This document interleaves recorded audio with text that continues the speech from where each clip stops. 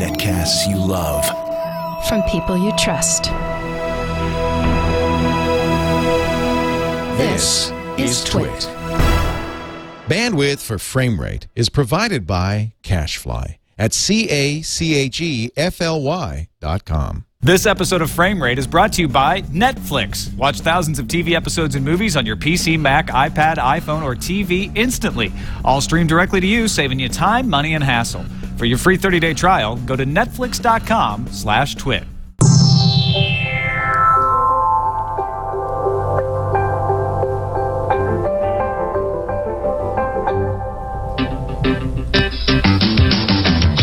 Meet Bron. You need a woman? Nothing like a woman after a fight. He's a sword for hire who will only fight if the money is right.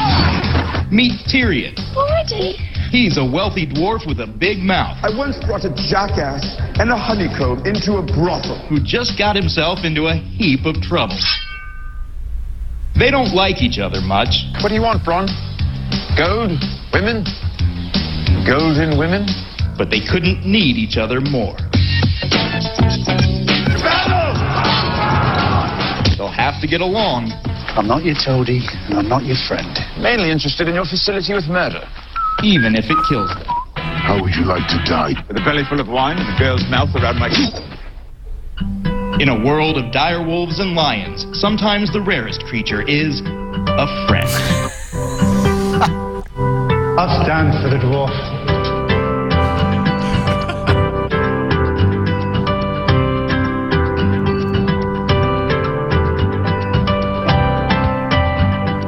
Killed your first man before you were 12. It was a woman.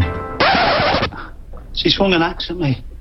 From the people who brought you the best little whorehouse in King's Landing comes one and a half man. In the Game of Thrones, they're playing as a team. Stay low. Stay low. Coming soon.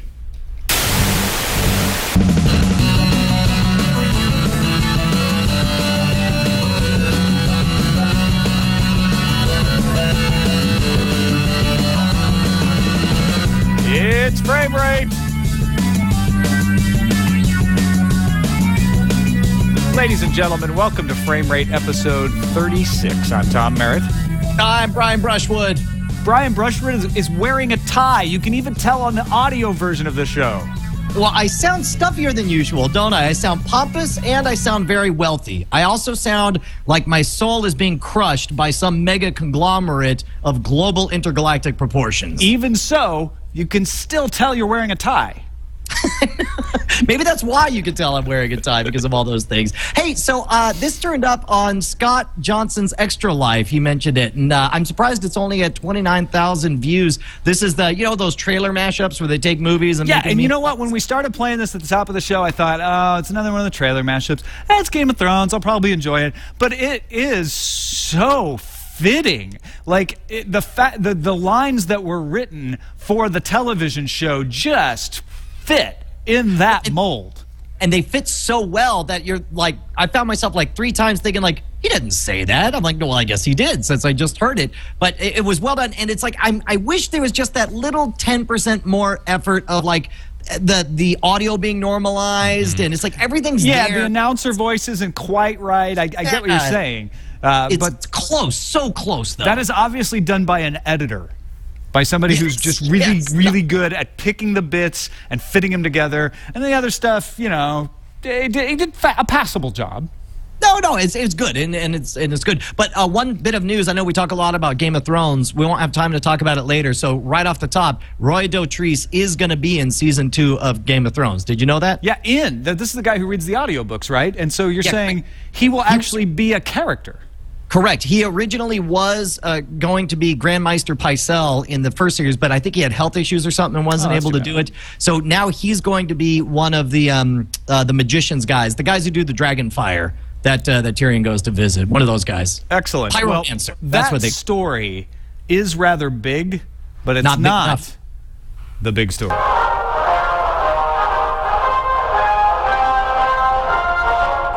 This just in, the big story. So, Apple's rumored replay service caused a lot of waves. Uh, the idea being like, hey, on Apple TV, suddenly I can rent a television show and just watch it from the cloud. I don't have to download it to anything. Uh, I can download it later, and I can actually watch things that I've purchased in the past. So, everybody got excited, like, replay is coming, replay is coming. Well, it turns out Greg Sandoval over at CNET is good at throwing wet blankets on things. Uh, he says Apple has yet to sign cloud agreements for feature films with at least four of the top six film studios, according to multiple film industry sources, and therefore uh, they pretty much aren't going to be able to make Apple Replay until they get those signings. And what makes that even harder is that HBO owns the exclusive electronic distribution rights of films from three of the top six film studios. So they'd have to get HBO's rights away from them to sign three of the six, and they need four of the six. So, uh, okay, when you say they need four four of the six, is that to to proceed at all, or to be economically viable, or is that to, to break? I think it's uh, I think it's to have enough of a selection to be viable. I don't know if it's economically viable or just to have a decent enough selection up there to, to actually launch it. But that this is all word on the street sort of stuff. None of this is an official announcement. Right. Well, and now uh, I bought an Apple TV. I don't know, three, four years ago, and oh, I too. Yeah, when it first came out. Yeah, exactly. And I wanted, I had this vision of what it was going to be. And it seems like, you know, with the streaming only device, it looks like they scaled down from the vision of what I wanted it to be and instead made it like a Roku type box for streaming only. Uh, so I'm a little bit out of the Apple ecosystem when it comes to set top box stuff. Why, why is it that I'm supposed to be excited about replay again? Well, the idea is really exciting to me because I've purchased TV shows through iTunes before, uh, and I've moved them to external drives and things like that, but I don't have easy access to them. With this, I can just kind of pick anything I've ever bought and play it again. I'd actually be more likely to spend money on Apple, knowing, oh, well, I, will be able to grab it out of the cloud. Whereas so right now, I'm more likely to want to buy it from Amazon because even though I can't play it on my iPad, I can grab it out of the cloud and I can play it on my Roku and I can play it on my laptop. And, and so it's, you know, it's, it's less of a worry about, oh, I got to store all these things or I lose them. Right. Uh, so I, I, I want to be able to have that cloud storage and that ability to play things like they have with iTunes coming up in iCloud, where all your music is up there if you've ever purchased it from Apple, like that.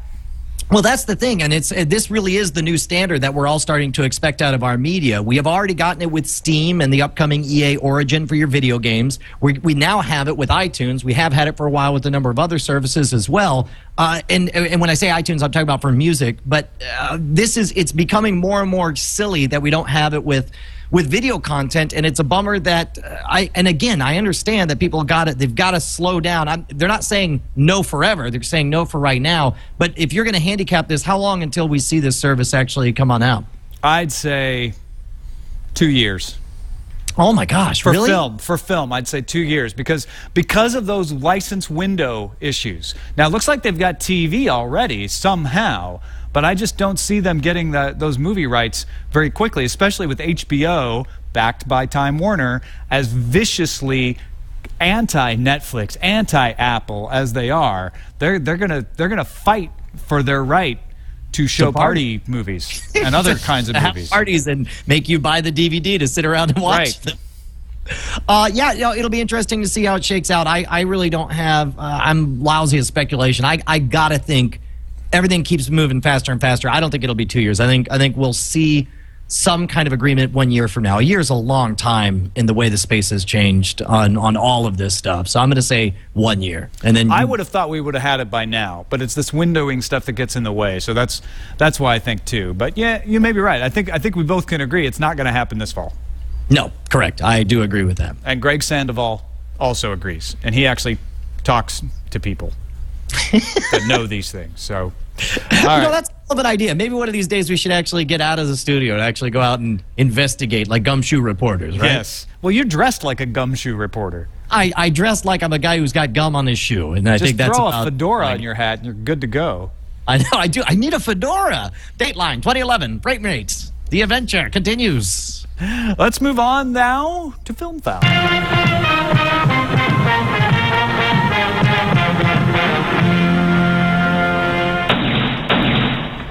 Good news to both of the people who use Chrome OS. You can now play Netflix on it. Woo! Actually, you know what this is good good news for? This is good news for the folks who rent the Chromebooks on Virgin Atlantic flights or yeah, Virgin America flights because you can rent a Chromebook now when you go onto a Virgin America flight. I But- did not know they did that. and it gives you free access to the GoGo Wireless. So now, with Chrome OS supporting Netflix DRM, you could actually watch your Netflix music or movies while you're up in the air, like George That's- Clooney. That's so brilliant. And, and wow, you have nested idea upon idea upon frame rate story. I'm really impressed with that, Tom. but uh, uh, first of all, I misread this. When it first said Chrome Chrome support comes to Netflix, I was like, well, that's idiotic. I watch all my stuff on the Chrome browser, but I didn't realize it was the Chrome OS. Uh, and um, I have you gotten hands on with the Chromebook? Have you played with it at all? Uh, yeah, we do. We have one. Uh, Eileen, when she went to cover Google I/O uh, for All About Android, they gave everybody who attended a Chromebook. So we've got one at home. I picked it up, played with it, liked it, but never Did went back to it. it. Yeah. Now, and, and I guess it's it's one of those things where the space is trying to occupy. I think is really being rapidly filled by the iPad. I think I think you either want a real computer in a in a portable format, or you want a tablet device. You don't want you know. It seems kind of mushy middle, but it is fast and it is a, a pleasant experience. What what do you suppose the hangup was on making this happen? And I don't pretend to understand any of the technical wizardry behind it. Uh, yeah, I'll, well, I'll tell you. The uh, the Netflix stream requires the implementation of a certain kind of DRM at the operating system level. I So, knew so DRM. when you That's- watch Netflix on your laptop, OS 10 is supporting that as well as the browsers. When you watch it on your phone, the reason it took so long to come to Android and the reason it hasn't come to every flavor of Android that's out there is Android needs to support the DRM at the OS level. Uh, and and Linux that's the, that's the reason that you, you know Netflix for Linux is such an issue. It's got to be supported at the operating system level. So it's it's the craziness of Netflix being required if they want to play in this game at all of implementing DRM at the operating system level to prevent you from recording the stream and pirating the movies. The amount of piracy they're preventing by doing this is probably indistinguishable from zero. Yes. Yes. I mean, it's one of those things where it's like the only way somebody would actually pirate something using the technique that they're working so hard to block would be if they did it on a dare at DEF CON. Like if they were having a contest to see what is the kludgiest way to, to pirate a movie, then they take advantage of, of this bizarre type of flaw in there. And uh, now, is it a case where it's like this is a legal thing that they're stuck to? Or, or Well, case- it's, it's not a legal thing. It's it's a uh, it's a it's a reality of doing business. They have a hard enough time striking these deals to get all of the the stuff that they want. So if they want to continue to get these deals, they have to have the DRM in place, or the studios won't even talk to them. So it's one of those things where it's like um, they're they know the studios know it's stupid, and Netflix knows it's stupid, and Chrome knows it's stupid, but there's no way that Netflix is going to go to the studios because they know the studio is going to say, "I'm sorry, did you say don't plug the DRM? I thought we had this discussion." They're not going to spend any capital with the studios trying to get them to relax their idiotic policies regarding No, the they're going to spend all their capital trying to get a deal signed so they can stream movies. This DRM Right. is one of the ways they were able to get so many deals signed in the early days is that they had it implemented from the start. right, absolutely. No, and I if you see- remember, you couldn't watch Netflix movies on Mac for a while. When they first introduced Netflix streaming, it was only available on Windows right at first. I did not know that. In That's fact, amazing. it wasn't available on Firefox. It was only on IE when they very first launched. Now I do remember that actually, but I thought that was a Silverlight thing at the time because I remember It was the DRM implementation through Silverlight. Gotcha, gotcha, gotcha, gotcha. Because Silverlight had the DRM built into it. So there you go. Anyway, thanks to uh, Melissa Daniels from Google, who posted on Google Plus about the ability to support Netflix in the Chromebook. I hope that implies that Linux support is coming soon. Because I got to imagine, Chromebook right? is based on the Linux. Also, uh, speaking of airlines, American Airlines rolls out in-flight entertainment on demand that lets you finish watching your movies after you've gotten off the plane. So when you say now, first of all, uh, okay, gotten off the plane, you're not talking about like just. Uh, it says let you continue when watching after you land, and when I read that, I'm like, dude, that's like five minutes of taxiing. Why is that a good deal? How is that a big deal?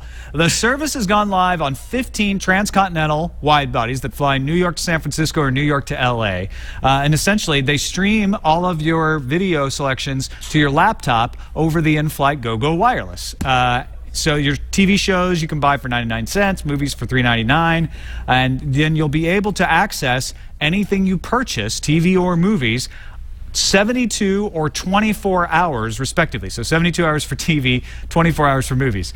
Okay, so we're not even talking Yeah. like you land and and if you buffered the whole thing, the window's open, you can keep watching it as you walk off the plane. We're talking about you land, you're done, you go home, you kiss your wife, you put your kids to bed, then you log into the same thing that you were in before when you're on the plane, and you finish your movie or, t- or TV show. Yeah, exactly. I mean, that's that's the that's the idea. So you you'll the funny thing is your TV shows last 72 hours because those are 30 minutes to an hour. You really need 72 hours for time to catch up. Movies, which are two or three hours, you only get to watch them for 24 hours after you rented them because they're longer. The well, and, and so here's the thing that um, uh, that surprises me because I first of all, this is a step in the right direction. The idea of building essentially little laptops in the back of all the different chairs in an airplane is idiotic, and the home entertainment systems that they've been building into them is idiotic compared to. Uh, everyone's laptop because everybody brings their own entertainment systems when they get on these flights. And I was convinced that Southwest Airlines was going to leapfrog over all these guys by taking advantage of the fact that uh, that they don't have anything built into the back of their chairs, that they have these cheap flights, and that they were rolling out Wi-Fi. I thought this is great because all they have to do is roll out Wi-Fi. There was talk about them having Wi-Fi for five dollars a flight. And in which, which that case, it's like, yeah, use your laptop, watch whatever movies you want on your iPad or whatever, and you're golden. But they have not come close to rolling this out full steam. And I'm curious to know what how big of a rollout this is for American Airlines because we've seen some big announcements like this, but we haven't seen. Um, I I have not seen in my flights quite as much rollout as it sounds like. well, they should. always start these things on the on the big New York runs. So that's what's going on here. San Francisco to New York, LA to New York. That's where it starts. right. That is fair enough. So you just need to fly New York, San Francisco more. Uh, you know what? I'll start flying to New York And then fly to there, San Francisco. York, San Francisco. Why not? There you go. Solved. All right, let's check in on the summer movie draft. Very excited to see the numbers. Ladies and gentlemen. All right, my last movie played this week, Rise of the Planet of the Apes, and there I am in last place. You're not in last place. All right. Oh my gosh, you're in last place. Yep, still in last place. But I'll tell you what, though, uh, Rise of the Apes. First of all, for all of your crying and fussing about Rise of the Apes, what did I keep telling you? I kept telling you, "Buck up, soldier. This movie's going to do all right." And sure enough, you've spent ten dollars on it, and in uh, in the first what four days, it's made sixty-one million dollars. This thing's going to top around $80, 90 million dollars. This is Yeah, going to not be. nearly what I needed it to do. I know, I know. I needed it to do 100 million plus. I'm telling you, you. Uh, I mean, first of all, you needed to do 800 million if you wanted to win this. Well, thing no, because- I wanted to get out of the basement. I'm not even going to do that now. Cowboys and Aliens stalled out at 69 million. The Smurfs 3D 78 million. Those two ruined me. I mean, Which- the Smurfs actually did about what I Smurfs- expected. Smurfs overperform or overperformed uh, yeah. Cowboys and Aliens. Yeah, I don't know exactly. If I would have guessed that. Smurfs, Smurfs did what I expected, uh, but Cowboys and Aliens tanked. Rise of the Apes did better than expected, but it wasn't expected to do as well, so it didn't save me. I needed it to. Con- I needed it to be 90 million opening weekend. Yeah, yeah, and I, I don't think any of us thought that was gonna gonna happen. I, if I remember correctly, as soon as we finished the original draft this year, you uh, your biggest regret was Rise of the Apes. You're like, oh, Rise of the Apes. What was I doing spending my last ten bucks on that? But uh, Yeah, because but, uh, I ended up not spending all hundred, and I think I thought like I overbid for Planet of the Apes. I should have saved that money and got Final Destination or or even Conan. I Okay, could have so gotten now- two movies. Instead, I blew it all no, on, on apes. You couldn't have because, um, like, Final Destination went for what? Um, Final Destination went for nine, and Conan went for eleven. So you didn't have twenty bucks. I had 14 left, Oh so I could have got the change up and Final Destination Five.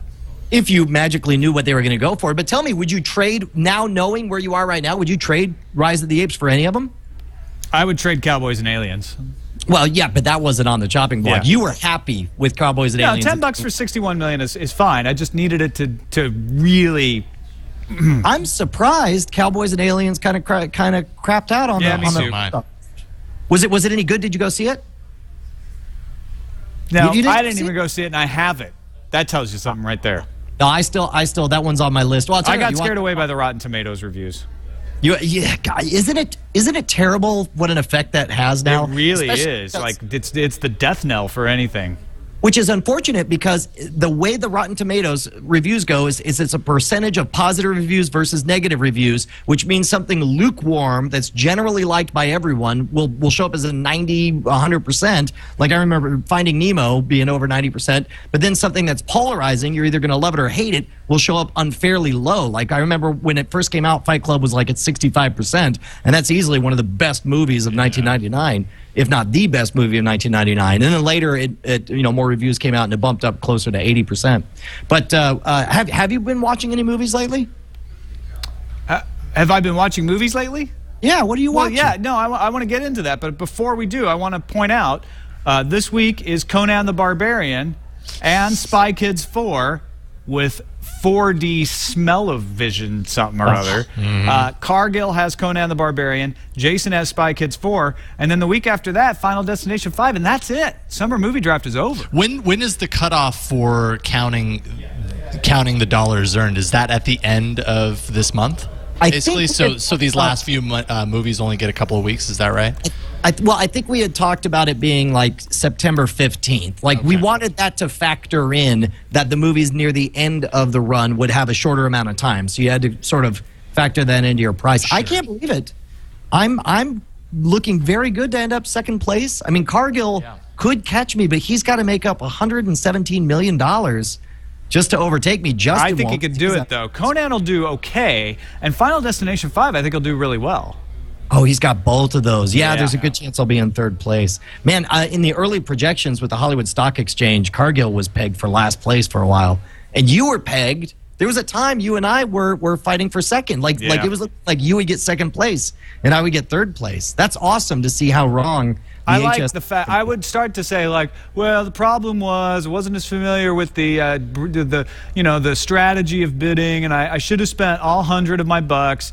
But Sarah Lane spent 97 of her hundred, only one more than I did, and she's going to win this thing. Yeah. Well, uh, yeah, and win it win it handily. That's Yes. that's dang sure. But Exactly. uh, uh, yeah, so talking about the movies, can we talk about what we saw? Because I yeah, saw so because we both saw Rise of the Planet of the Apes, and I loved it. I, you know what? I did not think I was going to use the capital L word. I, I realize like is also the L word, but I did not just like it. I loved it. I mean, also, I was lesbian is an L which word. is which is which is I lesbianed it, man. It was amazing. It's like it was a same-sex relationship.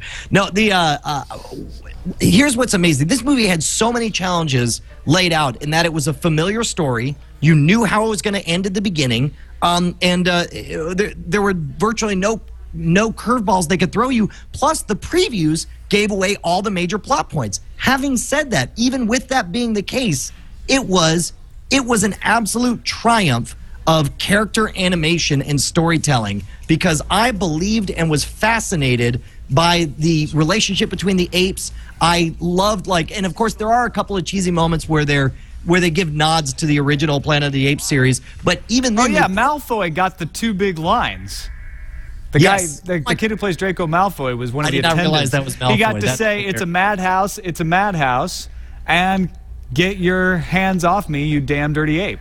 Yeah, well, but but and in that scene, spoiler alert, mild. We'll keep it around blue here, but but the moment they do that throwaway line, like you're supposed to, like you could tell they timed it. So mid laugh at that line, you suddenly are like, oh, you know what I mean? Well, and that was smart because it's a madhouse. Not as many people know that line, and it Right. and it fit really well. He's you know he's kind of backing out of the of all the cages and everything. It wasn't hitting you over the head. Get your hands off me is such an iconic line. Mm-hmm. Of course. And it, it's actually number 60 on the top 100 movie lines of all time. Did you notice some of the more subtle references to the original series? For example, the fact that Caesar is at one point doing a puzzle that's made up of pieces of the Statue of Liberty. Did you see that? I didn't notice that it was made up of Statue of Liberty pieces. That, He's in the I, that of, slipped of by me. this puzzle. He's assembling this model of the Statue of Liberty. Oh no, And- the Lego one, right? yeah, yes, yeah. yeah, yeah, yeah. I thought you meant the. Oh yeah, yeah, yeah. The uh, the I did notice that one. You're right. yeah. And so, uh, and then there's also, um, I didn't realize it, Like I'm such an idiot, uh, and and maybe uh, this is still mild, mild spoilers. I didn't realize it at the time. I thought they were just kind of giving a nod to the fact that um, that that this is taking place in the not too distant future. And in the not too distant future, where are astronauts going to go? They're going to be going to Mars. So in the background, you hear a news story uh, say something about you know the first man thing go to Mars. And I'm like, oh, that's great. They're setting it in the near future, and that's the kind of thing that'll happen in the near future. But then later in the movie, you see for like two seconds they throw down a newspaper and it just has the headline "Lost in Space?" question mark, and it shows three astronauts. And it was not until the drive home that I was like, son of a bitch, they are setting up the original Planet of the Apes with those. Well, they're setting up the. Marky Mark re- reboot because he was It's- on his way to Mars when he got lost. Oh wait, what was he on his way to Mars? I believe so. Uh, but I thought Because was because like, Charlton Heston was not. Charlton Heston was on a deep space mission of some sort. Yeah, But I, thought that's what it was for the reboot as well. for the reboot, Marky Mark, Mark Wahlberg was was headed to uh, was headed to Mars and got off course. Oh, okay. Well, then then, then that is what it is. Because I always uh, thought it made more sense in the original with Charlton Heston. It's like, well, of course there was relativistic effects. He was on a deep space mission. You know, of course he didn't know where he was. Spoiler Right. alert: yellow. spoiled. I mean, really, if you've never seen that scene, the most iconic Planet of the Apes scene, you shouldn't be Uh, listening okay, to any so in the chat room, newer guy wants to know if he should see the original movie before watching the remake of, of or, or this Rise of the Planet of the Apes. I say no. No, Look, not for Rise, not at all. All you need to know is Different that universe. You know, this is the birth of what will become a Planet of the Apes. And I even loved the little thing they did during the credits when all of a sudden it was like that was the last missing piece of the whole thing. During the credits, they don't even say anything. It's subtle and it tells a whole story. And I'm like, that's what completes the rest of the story. for They me. very So- carefully said, we may not get money for a sequel, so here's what happens next, but we're not Yes. going to give too much away in case we do get funded for a sequel. Well, it, it's super subtle, super. Uh, That's the way yeah. I interpreted it, though, was like, well, this, will- this will wrap itself up if we never make another movie, but we don't want to shoot ourselves in the foot, so we're going to leave This- it open that we can, we can make, you know, Conquest of the Planet of the Apes or, Right.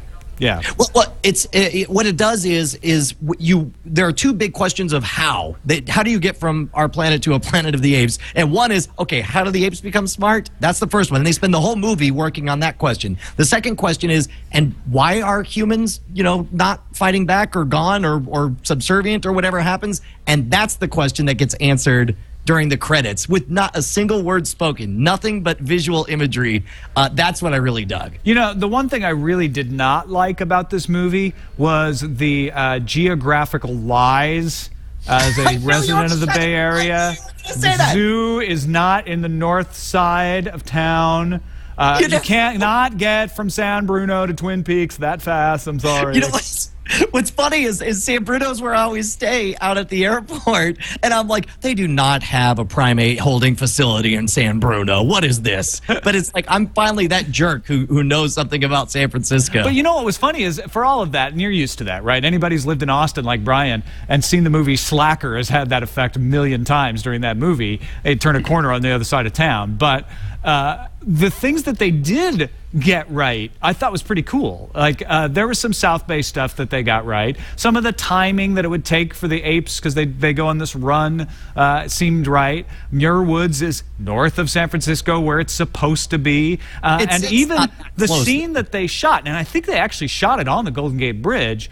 Uh, the little pylons that they use to change the lanes, because the way the Golden Gate Bridge works, if you don't know, they can make the six lanes be four one way to the other or four one way to the other, depending on the commute traffic. Right. Some of those little yellow cones were still there. Some had been knocked over. And if you've ever driven the Golden Gate Bridge much, you've noticed that like every once in a while one's flattened because somebody kind of weaved over in their lane. And I was like, wow, they could have when they were shooting this just taken them all out, but they decided to leave a couple, and it, and it made it look real to me. Okay, so here's the part where I can't believe I'm saying these words. And if we were doing a summer movie draft of movies that Brian would like, this is not how I thought I would say everything at the end. But I cannot think of a movie that came out this summer that I liked more or that I thought was better executed than Rise of the Apes. Can Wait a you? minute, Brian, are you saying if you saw only one movie this summer, see Rise of the Planet of the Apes. I can see I the chat room's going to take like five seconds. They'll have a trailer out. They're like, if you see one movie this summer, make it Rise of the Planet of the Apes. But uh, seriously, can you think of any other movie that was that was quite as as well executed as as engaging? Because Um, that's well, you know what the the CG. I mean, this is a lot of CG because they got to make these apes look uh, intelligent. Incredible, really well done for CG. You do not see the pixels nearly as much as you might expect. Just looking back on the stuff, um, Super 8 was well executed. I didn't love the story, but it was well executed. Um, Harry Potter and Deathly Hallows, actually, part two was fantastic. well, yes, okay. That I, you know Uh, what? Those I- those three would be the only ones I'd even mention in the same breath, to be honest. yeah, I'm going to Well, say and prom. Well, and from for for different reasons. I mean, obviously, what Rise of the Planet of the Apes is doing is going to be fundamentally different from what Harry Potter's doing. You know, they're obviously playing large scale spectacle, larger than life battles, and it's the culmination of a eight movie arc. But uh, Rise of the Planet of the Apes, I think, is it's it's it's so it so surprised me by how engaging a character they made Caesar. I mean, it was some I mean extended like we're talking 10 minutes straight of no no words spoken, no dialogue, and yet only physical emotion communicated between multiple beasts was uh, I highly recommend it. I really liked it. I think it's I think it's the it will it's a bummer that it will not really get its due, but this is the hidden gem of the summer. This is the one thing that came out of nowhere and really blew me away. I liked it a lot. And then you also finally got around to watching The Social Network. What'd you think? Finally, well, I had part of the reason I never did at first was because I had read The Accidental Billionaires and I was familiar with the story, but it, but finally I got around to uh, to watching the movie, and my only the, the movie pretty much follows the book, and of course they you know the book admits they conduct condensed characters and situations, uh, and it's really interesting to watch them vacillate back and forth between who's the bigger jerk.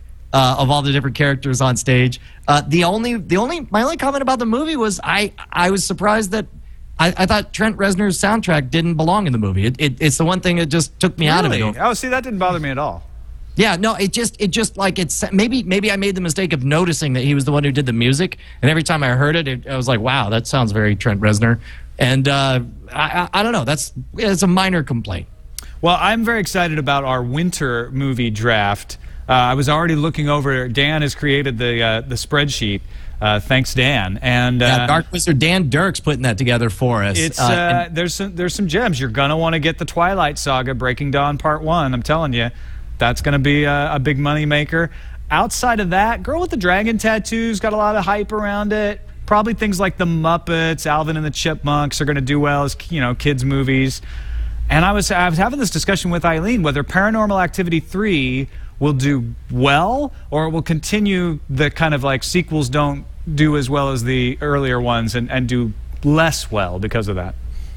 Uh, yeah, one one more comment. Uh, well, two things. First of all, on the winter draft, that'll be interesting because it's a much shorter season, and I don't know if we'll have the same number of players or not. But I expect that the economics are going to change, and be uh, that'll be an interesting twist on the whole game. And second of all, in the chat room, somebody was complaining that he thought that the score, Trent Reznor's score for the Social Network, was one of the best of the of the year. Certainly, it was good. I just didn't find it a match to the story they were telling. It seemed weirdly darker than than the story itself was. Well, the the story itself is darker than the actual story. Maybe that's, Well, that's- bothering you too.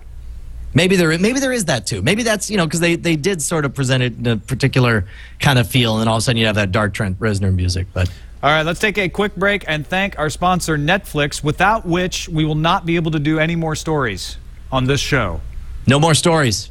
It's a new segment we call "No More Stories" on Frame Rate ever again, unless you go to Netflix.com/twit and sign up for a free 30-day trial. Now, here's the thing: you know about Netflix because you're watching Frame Rate. Nobody watches Frame Rate hasn't tried Netflix, and if you are watching or listening to Frame Rate and you haven't tried Netflix, shame on you. You should at least know what it's like. So head on over to netflix.com slash twit and sign up for a free 30-day trial, and then quit. It's that easy. But here's the other thing: is you a bunch of you guys already have it and you love it.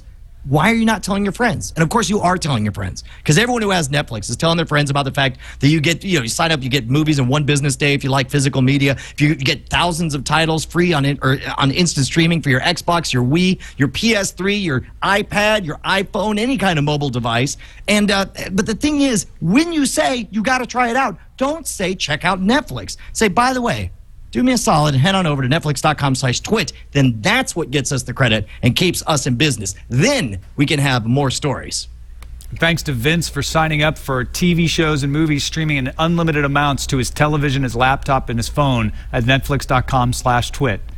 So we can do tube tops.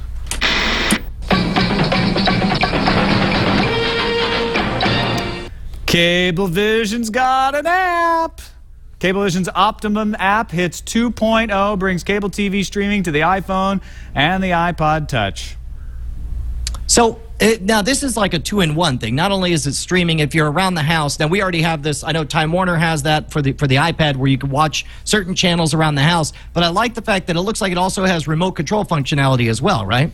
Yeah, this is one thing that the DirecTV app has. Although the DirecTV app doesn't have the ability to stream videos, you can schedule things to record on your DVR. You can change channels from the iPad, which is pretty cool. So Cablevision's packing all of that together in one thing. You can schedule DVR recordings. You can you can change the channels, and you can you can uh, you can watch you can watch streaming television shows as well, but only in your house on your. Cablevision approved internet mode. Baby steps. Baby steps, Tom. Just just one little bit at a time. We can't we can't leap all the way to everything willy nilly right now. But I'll tell you what, I, I'm in favor of this, and I would like to see all people totally revamp the way we think of the DVR interface. Do you realize that for all of season four of Breaking Bad, when I set my DVR to record Breaking Bad, I accidentally selected the non HD channel of AMC. And uh, the very interface of the Time Warner DVR interface is so slow, so Byzantine, and so frustrating that I every time I'm like, ah, it's not in high def and it looks stupid. I'm like, oh well, and then I just keep watching it. Like I I long for a beautiful interface for a DVR. I just want to go back to my TiVo from 1999. And it's like, it's amazing to me how kludgy all of them are to this date. So I'm hoping that bringing in other devices, you got people, they're finally diverting programmers to having them make controls for the iPhone and the iPad and Android apps. I'm hoping that, that they'll, um, uh, that maybe they'll dust off some of the other features on the DVRs as well. So you cannot shut up about Nick. Nick? Nick Me? at night. Uh, Nick- and there's a uh, story here from New York Mag that Nick's new 90s nostalgia block is a rating smash. Yeah, this is all those old Nickelodeon shows that a lot of the 20 somethings grew up with, the kids of the 90s, stuff like um, uh, All That, Keenan and Kel, um, Clarissa. Clarissa. explains it all, etc. Now, he, the, the reason I wanted to talk about this is they're not kidding. When it when it says uh, is a rating smash, I read that and I'm like, I'm like, well, what does that mean, a rating smash? This is the same channel, same time slot. When it was Malcolm in the Middle, they drew 33,000 folks under 34. Same time, Monday night, episode of All That brought in 265,000 viewers for a rerun. It's like they, um, uh, li- likewise, Undeclared brought 3,000 people from 18 to 34 when it aired at 1 a.m., but Clarissa attracted 189,000 people in the same demographic, 60 times as much, 6,000%. But don't you think that's just brief nostalgia? That can't sustain those numbers. People, I people don't- are tuning around. They see the show like, "Ah, I remember this. They watch it for a little while, and then it's going to fall off. They're not going to Well, keep is- watching. this is what I wanted to discuss is I, I suspect there's a sweet spot for nostalgia. And part of the thing it has to be the right you have to let the nostalgia age for a while and you also have to refuse access to it long enough to where finally when you get it back it, it just feels so good. It's like putting on some old clothes. You get really excited about it all over again. It used to be back when it would take a long time for a television show to get enough episodes to i think you had to hit 100 episodes in order to qualify for syndication. That was a long time that you didn't get to see the show and then the floodgates open and you got to enjoy it. Now these are you know these would be shows that are four or five years four or five years in production at the time. But but i think by holding it a little bit longer uh, i don't know i think they're discovering the science of how to derive the maximum nostalgia benefit. And I disagree. I think people will be watching this for a while. In There's fact, no story arc though. If I get sucked into an old show like that has a story arc, I'll keep watching it because I'll get sucked into that story arc. But these are just one-offs, and after a while, you're like, okay, yeah, that was fun. But I'm not going to keep watching this for months and months and months. You're an old man. Right now, there's some 26 year old who's just like, Merritt, I don't even know you anymore, Dad. What's going on? You used to be cool. Now you're telling me I can't watch Keenan and Kel anymore? No, I'm saying you'll watch it, but you won't keep watching it. I don't care what you say You you're going to do. You're not You going to watch it for more than two months. No, uh, you know what? Ice Cream in the chat room already says, that's me, Scam School Brian. He Ice says, cream. Two months from now, tell me if you're still watching it. All right, yeah, we'll do a follow up because it will be interesting. Because Also, it get off my lawn. That this is a temporary bump. Stay away from my azaleas. Stop with your jazz music. Speaking of old man comments, J.J. Abrams was uh, interviewing with The Guardian, uh, and he said, quote, For years, I had people praising Lost to death, and now they say, quote, I'm so pissed at you for the end of Lost. I think a lot of people who were upset with the ending were just upset that it ended, and I've not yet heard the pitch of what the ending should have been. I've just heard that sucked. So IO9 said, fine. We have said the way it should end, and we are going to come up with another list of five things that five ways we think it should have ended, and they invited their uh, their readers to do the same. All right. Well, okay. First of all, a couple of things. Number one, you're absolutely correct. J.J. Abrams does come across as a grumpy old man, saying, "Oh yeah, what would you have done, jerky jerk, herky jerk?" Let's, you know, not realizing that that was all of the internet he was pushing. And if there's one person you shouldn't ask, how would you have done it? It's the internet. Uh, second of all, IO9's list of fixes is really just a thinly veiled bunch of gripes about stuff they didn't see. And it's like that's not Well, fixing. really? That's- no, I thought some of these sounded pretty good. well, uh, I mean, uh, for example, uh, suggestion number one here: uh, show us what happens when the man in black gets off the island. That's not a solution. That that's a complaint about something you wish you you could have seen. Sure. That no, that's, that's fair. I, I like number two, raise the stakes. Uh, that you know, they say that the threat is that the Man in Black is going to destroy the island. Uh, rewatching the finale, it's amazing how low on incident it is, and I think that's true. They should have raised the stakes more in that finale. Like there should have been there should have been more threat, and it was a lot of just well, we got to tromp around and stop stuff. And number four, show us what Jack's learned over six seasons. That could have been a great finale if they'd really focused on the redemption of Jack, and instead that kind of sputtered out. Yes, uh, I can see that. Although I don't know, I thought for the most part it was. I thought they did. It was clear. Maybe they didn't like the execution of it, but I thought there was a reasonable expression of the redemption of I, Jack. I, I'll- I, I say all this being one of the people who liked the ending of Lost. I enjoyed too. watching it at the time because I felt it was a celebration of the show. But I can see where people are saying, yeah, but I wanted more story conclusion and less feel conclusion. And i felt like oh i got i got a little a little taste of everything. And you know it was it was a nice tribute episode but there could have been a more compelling story. I do agree with that Yeah, and, and keep in mind, man, if there's uh, of all the having to juggle fans of different varieties and and make the suits happy. I mean, can you imagine the pressure and how many compromises they had to go through from the budget of what they wanted to show but didn't have the budget to do to, to the way they wanted to do the story to the amount of you know uh, pressure from the studios you get. I, I do not envy J.J. Abrams' position on this, and I agree with you. I thought for the most part he acquitted himself pretty well with the way everything got wrapped up. Speaking of J.J. Abrams, you've been watching Fringe, and I, I didn't put this in the lineup, but producer J.H. Wyman told IO9 the show has a meaning to us that we haven't shared yet. We feel confident that that meaning is going to get across. At le- and, he, and he implies that we're going to see it in this coming season.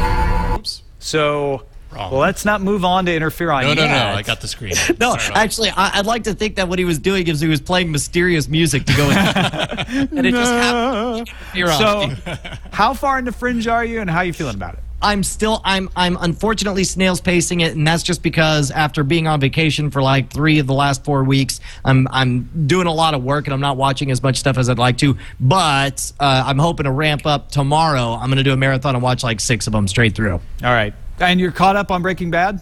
Yes. How are you? I am. I, we, this Sunday was the first Sunday where we actually had waited a week between episodes. And what was weird is like we both realized, oh, we have a Breaking Bad to watch. That there's more to watch. It- you know, it was it, it was last week. It was like, oh crap, we have to wait a week, and it was almost like we forgot because we got out of the habit of watching three or four in a row, and it was this special treat to be like, oh, we get to sit down and see what's up with Walt.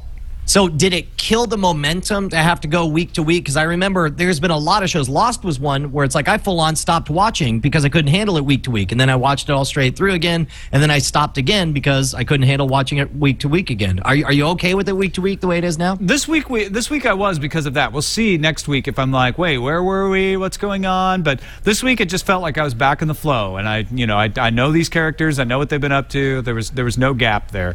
Um, Right. You also uh, w- watching the regular show still regularly? Uh, oh my gosh! I- I'll tell you what, man. Nothing brings a father and his seven-year-old daughter together like watching two complete slacker jerks refuse to do their duty. Like I can, I, I'm aware. Like I'm like I should be upset that this show that celebrates people not doing the job they're paid to do is on this children's network teaching bad attitudes to my daughter. But that was funny right there. That's the funny part right there. This past week, I caught up on Warehouse 13, uh, which is in its fourth season, and I still like that show. My opinion has not changed. It's not a great show. I don't even really recommend it to people.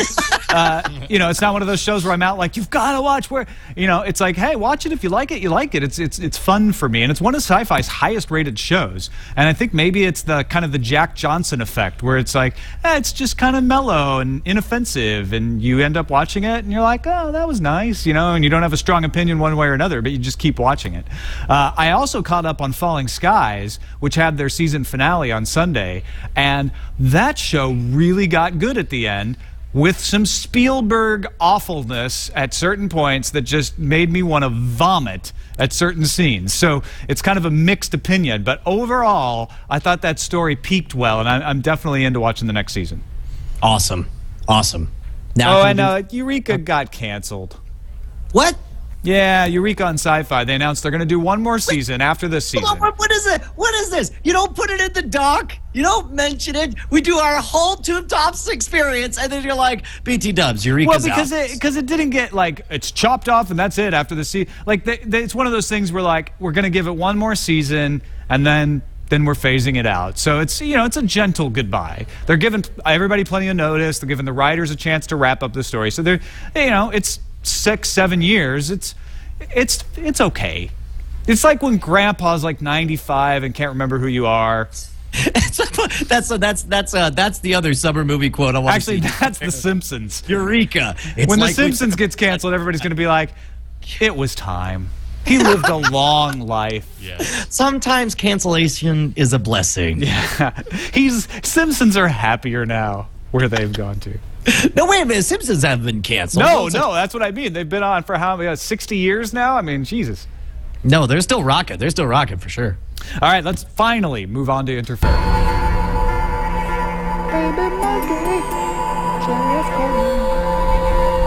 that baby monkey thing. You know, the, the Alamo Draft House, of course, they don't show advertisements when you walk in for the pre show. Instead, they show awesome videos that are just related to whatever movie you see. So they showed a bunch of, for, for Rise of the Apes, they showed the old cartoon for Planet of the Apes. They showed um, some weird ape related videos. Uh, then they, but then they also just randomly showed Baby Monkey riding on a pig. And I was shocked at how many people in the theater weren't already hip to that video. It was clear they were hearing it for the very first time. That's awesome. Being able to see people experience Baby Monkey for the first time. It's not pure joy injected to your eyeballs. All right, real quickly, a uh, piece of news before we get to some cool web videos. MovieClips.com is bringing their clip library to YouTube. Uh, that's the largest collection of licensed Hollywood film clips on the web 20,000 HD clips. So you'll be able to go and watch those famous moments legally. Now, okay, so here's my question to you, and this is the reason I wanted to. We were talking about clipping this for time, but uh, Pat clip, is, get it? is this is this? I didn't know if you'd point that out. Thank you. Uh, is this something we should be excited about? That in that, let's face it, one of the number one things I use YouTube for is, oh, you don't remember that scene with the Big Lebowski when he says this, and you'll just type in the line from the scene, and it's always there, right? It on the one hand, I'm happy to see some legitimate form of that coming to you know to, to YouTube, but on the other hand, it means that it leaves the curation about what is and isn't a valid clip that you're allowed to watch to impress your friends uh, to the studios. And that part makes me less. I mean, I understand why they're doing it. And of course, from the studios' standpoint, they'd love to have complete control of everything. But I can't decide if I'm happy or upset that they're doing this. What's your take? Well, there's a couple of things that's that's good about this. One, uh, because of this, there'll be official data points. This won't be, you know, me in my bedroom uploading a clip from Planet of the Apes with Charlton Heston and putting really crappy meta tags in because I'm in a hurry. Uh, right. This will be like solidly searchable by what they said, what actors are in them, what genre, what era. So it'll be easier to find stuff. And the other thing is, a lot of the clips that are up there right now are approved by the studios because of the YouTube policy that says if you find an infringing video, you can claim it and then you make the revenue off of the stuff there. So it's not like they're driving things out, they're just expanding what's actually available on YouTube. So I think mostly it's a good thing. Oh well, then that that is good. I didn't realize that there would be an alter. What I didn't want to see was a future where they started policing anyone who grabbed a clip that wasn't one of their sanctioned clips to put up there. But if that's no, not I mean, case, it's not gonna. I mean, they already do that. So it's not it's not going to change that. It's not going to make it any better or any worse, but it is going to add more videos and probably higher quality videos as well. Yeah. All right, so I, I found this next uh, clip, and Jason, we can go ahead and kind of roll it while I talk here on Engadget. Uh, this is made with a Nokia N8. Uh, it is the quote world's largest stop motion movie filmed on a beach in South Wales using uh, the phone's 12 megapixel sen- sensor. It was actually done on three different phones. They had, but they had one up on a crane, uh, and they just did stop motion from above with of a boat floating on the water with fish and a, and a fisherman. Wow. And the, the, guy, the fisherman guy is actually laying down on the beach, but it totally so, looks so, like okay, he's standing just, in the boat. Just to get an idea for the scale, to get an idea of the scale, that fisherman is an actual man dressed as a fisherman. Exactly. That is amazing. That is really interesting. And it's it's life size. on phone? And you the, can see it does. It gets wider and wider. The largest scene spans over 11,000 square feet in this thing. That's fantastic. I don't know what we're looking at now. Wait, it's a continuation. Wait, this is at night? Yeah, well, yeah. Because the, the fish eats him, and then he goes into the belly of the whale and gets spit back up. So that's that's when you have when they had three different phones. They had they had they had. It's not one continuous shot, right? Because it's stop motion, obviously. Yeah, it's not one continuous. Uh, and so, and I guess they just used the actual tide coming in. Boy, think about that. They had to time everything and actually time it with the actual tide arriving. That's, I think that's very cool.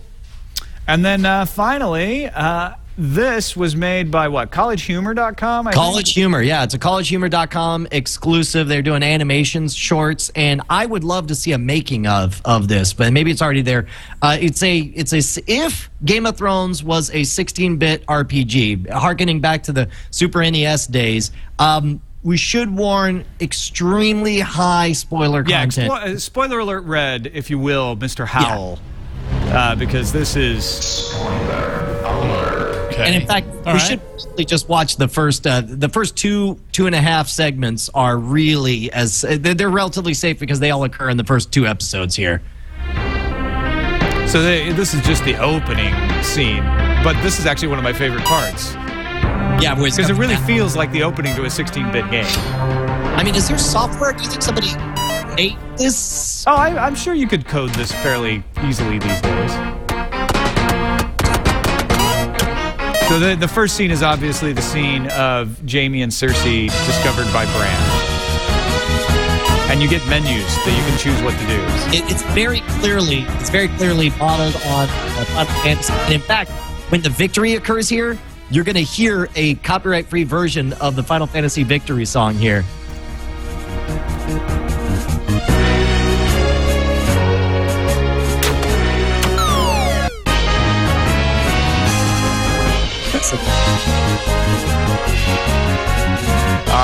Yes.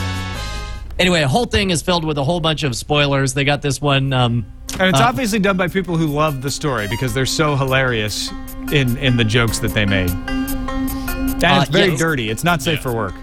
Yeah, but thank goodness. As not, is the show. Yeah.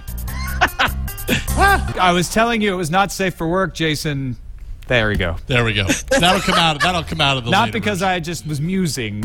I wasn't sure we You're wanted like, to "No, show that. Seriously, Jason, it's not safe for work. Was it? And Jason's just vegged out like, man, this is really funny. I'm just gonna keep watching this, boss.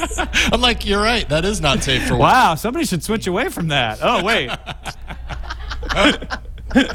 All right. Now it's time for feedback. Now it's time for feedback with Brian and Tom on Frame Rate. Yeah. This first one comes from Chuck Byers. Guys, could I get your take on the fact that most of the DVDs coming from Netflix now don't have scene selection menus? I know both of you are in the 23rd century and don't get physical media anymore, but my wife and I still like to watch movies that are not yet on streaming and sometimes both fall asleep and have to go back and rewatch the second half of the flick that we snooze through. Just wanted to get your take on this. Thanks, Chuck Byers. Uh, I would say for me, the the re- your experience when you get a movie from Netflix is with the intention of watching the movie once and then sending it back. And I think it's okay that that disc have a fundamentally different experience from a DVD that you purchase. And if anything, I think that increases the value of a purchased DVD, one that belongs in your library that you want to pull off from time to time to rewatch certain scenes or to, you know, try to uh, listen to the director commentary and all that stuff. I'm actually 100% okay with that. What yeah, yeah. That's why uh, you know we should have DRM on streaming videos and downloads because it increases the value of that DVD when you purchase it. Oh! All right. Well played, sir. So you don't like this? No, I don't like this. That's that's stupid. Chat, not giving me the special features because I'm only renting. That's fine, right? But taking away the fundamental fu- uh, function of a DVD, which is to have chapters, taking chapter marks out, crippling the product. That doesn't make any sense it's not to me. crippling the product. All it's doing is it's changing the. You know what? It's what I don't like those menu se- selection things. Even when I own the disc, it's just one more stupid menu you have to sit through. I just end up fast forwarding through the movie to get where I want anyway. So you don't want chapters. You know, you you, you never want to skip through No, the, to the You know what, Tom? Strangely, I don't love that three and a half awkward seconds of waiting for the first chapter menu to show up, and then having this like next page and waiting another three and a half awkward seconds for the next one to show up, and then deciding, oh wait, maybe it was on the first one, and then going back and doing it all over again, and then ending up just fast forwarding it through anyway. If you were asking me how I want to do it, I want to open it in WinVLC and drag my mouse pointer up and down until I find the part that I want. So That's what I. essentially, you're telling Chuck, shut up and quit whining. You just watch it in VLC. You can move around real fast. Just download it from BitTorrent. You can do whatever you Oh, want. no, I'm not saying that. Hold on. Hold on. Uh, you know, actually, my first impression when I read Chuck's uh, Chuck's email here was to get the song "Physical" by Olivia Newton-John stuck in my head because he says, "Don't get physical, media." And because you apparently still live in 1984. I do. You would That's remember my address. Shorty writes in says, "Hey Brian and Tom, last week Tom said there was no good free open source video tools. I would beg to differ. There are Lightworks for video editing. Okay. Um, I'm not sure. Okay, okay. And Blender for 3D. I did say there were some good 3D tools, and Blender is a good call. That, that's a good one, Shorty. Thanks for pointing that out. Uh, it is Windows only. It was used Lightworks to cut the King's Speech, which did win an Oscar. And then there's Blender. It is multi-platform. I don't have any Hollywood examples, uh, but check out Sintel, which was made with Blender. People that worked on it have been hired to Pixar, DreamWorks, and Disney. No, totally right, Shorty. I should have mentioned Blender. Uh, I'll check out Lightworks though, and, and, and see what I think. I, I, Yeah, you what, Lightworks- I had not heard that uh, the King's speech was cut with that. That's pretty amazing. Yeah, it's uh, that that's an interesting one. Um, and and they have a congratulations to Tariq Anwar on their uh, on their page. Is it in fact open source though? It says Lightworks public beta. That implies to me Uh-uh. that they just give a free version away for folks to work. But it also says the Lightworks open source project starts here. Uh, we announced plans in April 2010 to take Lightworks open source. We always said the first step would be to make the application freely available to a large community. So it looks like they haven't taken it open source yet, maybe? I don't know.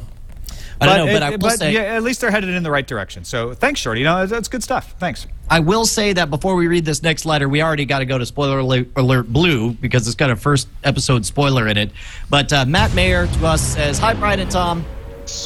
I need some help in order to. You got to wait for the spoiler alert man to say it's a spoiler, otherwise people could get spoiled. Okay, fine. I need some help in order to start watching Breaking Bad again. See, I started watching a couple years ago, right after season two ended. I thought the show was incredible, and Bryan Cranston's acting was some of the best I've seen anywhere. The problem I had was with the cancer storyline. Three years ago, my father lost a five year bout with cancer after having beaten it for 10 years prior. This made Breaking Bad too difficult for me to watch purely because the show was so very true to the experience. I have to believe that someone involved with the show, probably the show's creator, had a close experience with a loved one battling cancer. For example, that intervention they have for him to get him to seek treatment seems to be a very true experience. My father was in the exact same state of mind and he went through the exact same things that Walt was afraid would happen to him.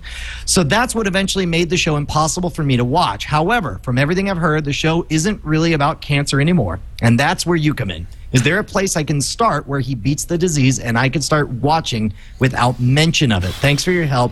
Keep up the great work, Matt. Uh, now we go to spoiler red because he's asking us for a prescription. Uh, and this would this is something that I never would have thought of. I mean, this letter really stood out and touched me. And and uh, I mean, I know what I want to say. What do you say, Tom? I that's a tough one because I totally understand where Matt's coming from, and I can understand why he doesn't want us.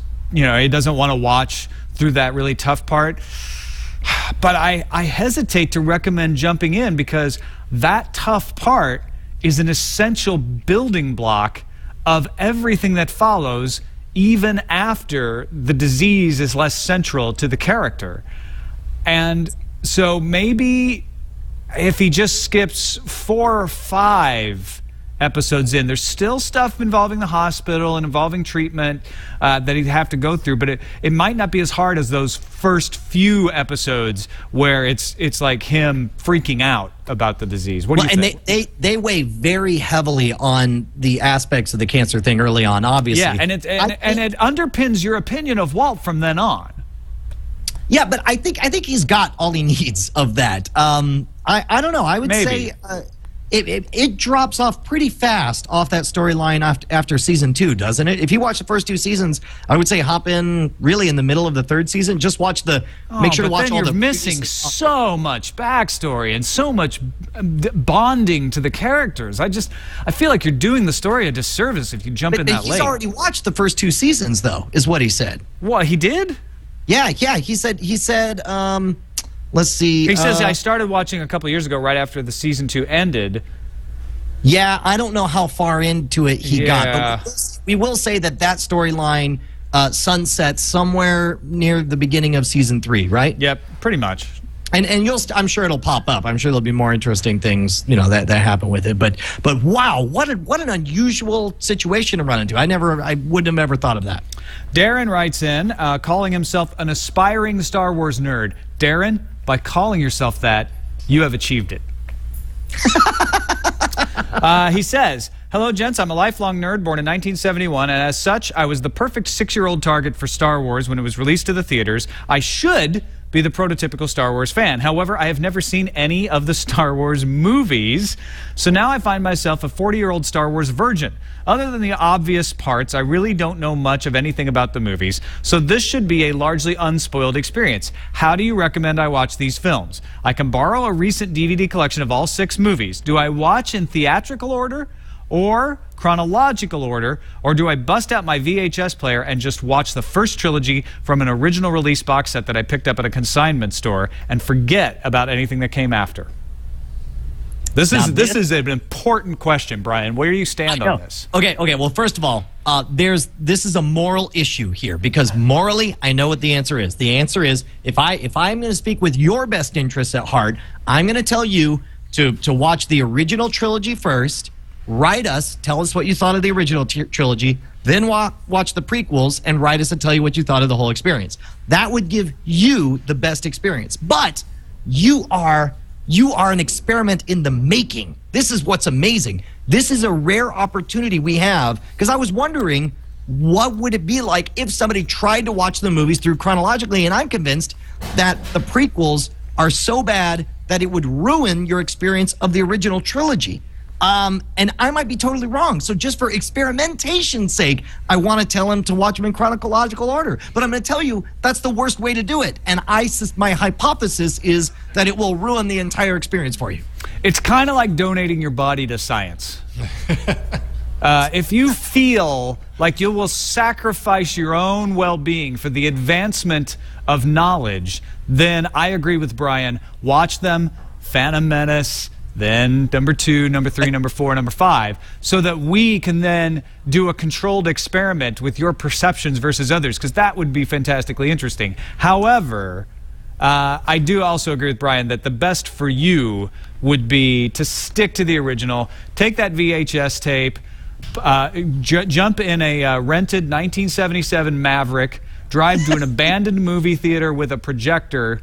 Uh, and watch it the way it was meant to be watched, as if it were 1977. Then Now- wait three years to watch Empire Strikes Back. yes, that's the only way to replicate replicate yeah, your and then go from there. I, I will say this: if you are going to take Tom and Brian's Star Wars challenge, I do ask that you write us a short write up of your feelings after each movie, going through chrono- chronologically, because I'd love to know what your questions are, what makes sense, what doesn't make sense, what you like, what you hate, that kind of thing. Yeah, I no, I, I I think it's a very clear answer. I 100% agree with Brian, which is the best way to experience them is original cuts in original order. Uh, but there is a fascinating experiment to be had the other way. Science, bro, science. It's all for science. Do you want to read Sean's email? Um, yeah, this is a long one, and essentially we covered a lot. He says a lot of really nice things, but this is yeah, this is from from uh, wait, Joe or Sean's? Hang on. Oh, you, you take Joe. I'll take Sean then. Okay, all right, go ahead. Uh, Sean says, I just finished watching episode 35. Was disappointed that you didn't talk about the new Thundercats reboot that started on July 29th. The quality of the animation, story, and voice acting of the pilot was epic, in my opinion, and I cannot wait until the next episode airs. I was wondering what you thought of it. If you haven't seen it yet, I might have to revoke your Child of the 80s license. Strong Yeah, I, words uh, from Sean, Brian Brushwood. How do you Uh, you respond? know what? I- Yeah, yeah, I have no defense. Uh, Your Honor, I have no defense. And uh, you're right. I will watch it and I will get caught up because I'm telling you, I'm still watching the old ones from the 80s. Yeah. And I love it. I, uh, being a child of the 70s, don't have to watch. Well, you are exempt. You placed out of Thundercats, is what you did. That's right. This uh, we got an email from Joe, and I'm gonna. It's really long, and let me just say one thing real quick. Uh, keep the letters coming. Framerateshow at gmail.com. Not only your questions, but also your suggestions for stories. That's where some of our best stuff comes up. People say, "Hey, man." Saw this, thought of you. We love that stuff, and it helps us out tremendously. Um, I will say that if you want us to read your letter and comment on it, tighter, just tighten just a little bit. That's what all we're trying to say. Um, uh, Joe says, among other things, let me say I was pretty excited for Rise of the Apes. However, in a Hollywood world of remakes and reboots with the lack of original content, I was expecting a letdown of some sort. My God, did this film not disappoint? Being a fan of the first five films, I had my concerns this would be another poor effort on the part of a big studio looking to make a quick buck. It was not. While it has parts of the common plot of scientist goes rogue to find super cure that results in bad juju, the execution sets it apart. Uh, even when the most, and you know, he talks about a bunch of other stuff, but he says watching Caesar evolve throughout the film was exceptional. Much of the story was told through Caesar's eyes, literally, which is an incredible feat. Not literally, you mean figuratively. Uh, the pinnacle of which was when you see it in his face the moment he learned to control his emotions, which, in contrast, his human co- counterparts did not. And that was one of my favorite parts of the movie was seeing how ape-like you saw the ape in the humans and you saw the humanity in the apes. Uh, he says a bunch of other stuff. Unfortunately it's too long but uh, he says basically much like frame rate rise of the apes is fantastic. It's the best reboot i've seen since king kong and i would certainly agree with that. It's fantastic. Leo was yelling spoiler while you were reading that email. it's a little minor spoilage. Huh? we, we already we already covered Yeah, the we already- spoilers There's no true, spoiler alert up on screen. That's all I'm saying. okay That's Hey, there we go. All right. there, you got your yellow. You totally spoiler. ruined the movie for Leo, Brian. that's uh, spoiler alert yellow You let him know there were apes. That's- Now what's he gonna do? It's a madhouse. All right, that's it for this episode of Frame Rate. You can email us your comments, framerateshow at gmail.com. Thanks, everybody, for watching. We will see you next time.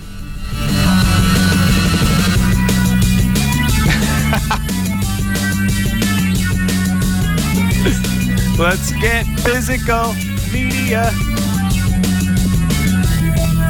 Ah, oh, that's disgusting. Yeah, it is pretty disgusting.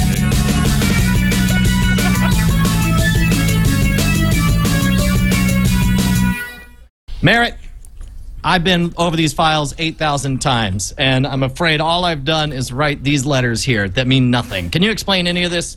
What am I supposed to tell corporate, Merritt? Forget it, Brushwood. It's Petaluma.